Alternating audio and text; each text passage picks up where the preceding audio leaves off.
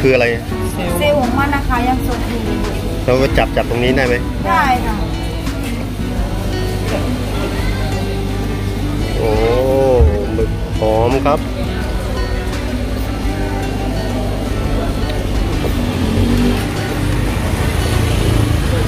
ตัวนี้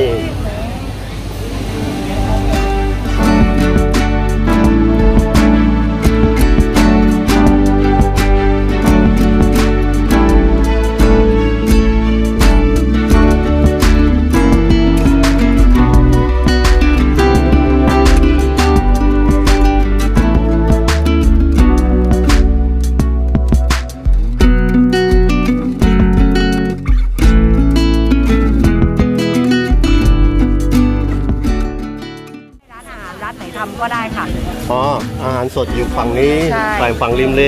ค่ะ แล้วก็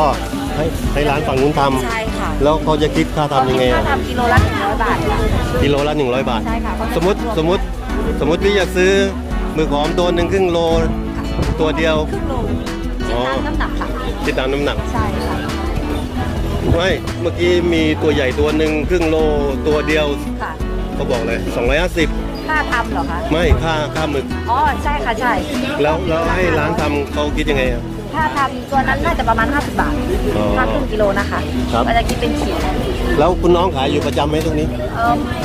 ขายทุกวันค่ะขายทุกวัน ใช่ค่ะ เปิดตั้งแต่11โมงจนถึง4ทุ่มเอ้ย3ทุ่มค่ะเสียโมงถึงสามทุ่มใช่ค่ะร้านอะไรอะโฆษณาร้านเลย ซีฟู้ดค่ะหน้าซีฟู้ดค่ะเป็นอาหารทะเลสดค่ะ เบอร์โทร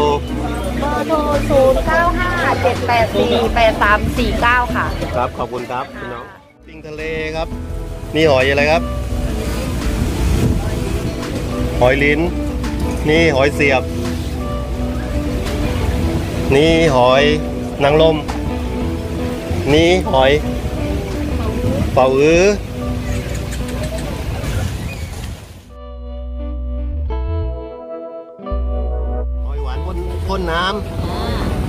เนี้ยไม่มีสายเนี่ยโรยกว่ามีทรายแล้วเนี่ยำเหมือนหอยนั่นไหมอะหอยน้ำหวานพันส้มๆธรรมชาติกุ้งลายเสือกุ้งลายเสืออยู่ในทะเลตามธรรมชาติลาย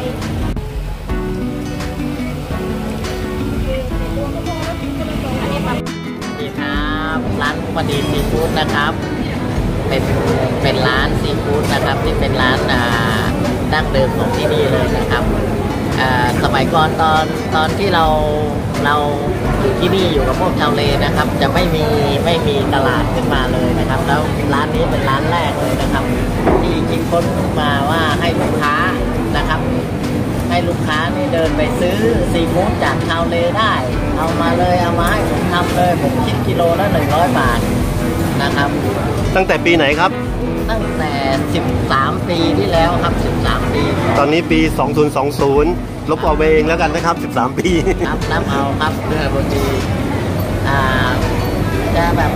เปิดเปิดใจครับ เปิดใจให้ลูกค้าซื้อเลือกเองหรือว่าสั่งที่ร้านก็ได้นะครับ แต่ที่ร้านก็จะเดินข้ามไปเลือกมาให้ของสดๆเหมือนกันนะครับแต่ครับ ลูกค้าไม่มั่นใจก็เดินเลือกเอามา เราก็คิดครึ่งกิโล75 บาทครับผม จะทำเมนูอะไรเราก็จะมีเมนูให้ดูนะครับ ว่าเอากุ้งมังกรมาทำอะไร เอาปลามาทำอะไรนะครับ แล้วก็อาหารซีฟู้ดที่เด่นสุดของ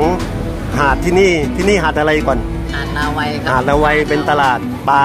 อ่าเขาเรียกว่า market seafoodราไวย์ market seafood ราไวย์อ่าที่ท่าเทียบเรือเลยนะครับครับอ่าก็คือเป็นประมงชาวบ้านเลยประมงประมงท้องถิ่นเลยประมง ท้องถิ่นครับประมงเขาเรียกอะไร อ่ามอร์แกนครับอ๋อ ชาวมอร์แกนโดยตรงเลย ที่หาขึ้นมานะครับ แต่ช่วงนี้ตลาดใหญ่ขึ้น ก็อาจจะมาหลายที่หลายที่เพื่อให้ตลาดมันรองรับอ่านักท่องเที่ยวชาวจีนครับ นักท่องเที่ยวชาวจีนชาวยุโรปครับถ้าได้มาสัมผัสที่นี่ก็จะได้สัมผัสซีฟู้ดจริง ๆ ครับเอ่อถ้านักท่องเที่ยวมาไม่ถูกสามารถ อยากจะมากินร้านที่อร่อยที่สุดร้านเก่าแก่ดั้งเดิม ครับร้าน search ได้หาได้เลยนะครับในเว็บไซต์ของมุกมณีซีฟู้ดครับซีอ๋อฟู้ดครับมุกมณีซีฟู้ดใช่ครับชื่อเรียกอะไรนะตะลุยตามตะวันอ่าตะลุยตามตะวันได้เลยครับ ครับเบอร์โทรครับ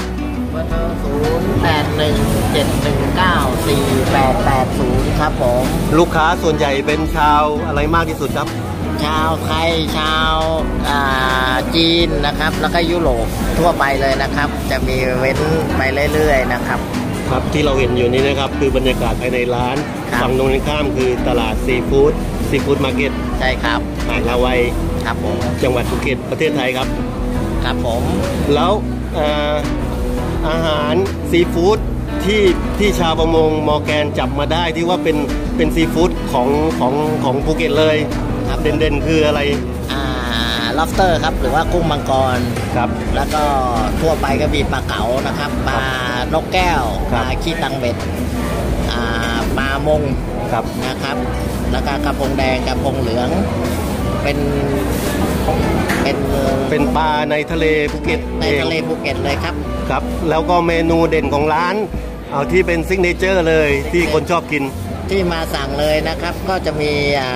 อ่ายังมีเป่าฮื้อของชาวบ้านด้วยนะครับ ที่นี่มีเป่าฮื้อด้วยนะครับครับมีเป่าฮื้อมีหอยหน้ายักษ์ครับนะครับลวกจิ้ม แล้วก็ปลาเก๋านึ่งซีอิ๊วครับหอยหอยเชลล์ย่างชีสหอยหวานเผานะครับ แล้วก็มังกรอ่าย่างชีสย่างเนยกระเทียมได้ครับ ทุกอย่างอ่าลายเสือก็มีนะครับพวกลายเสือครับ ขอบคุณครับครับ ครับสวัสดีครับสวัสดีครับ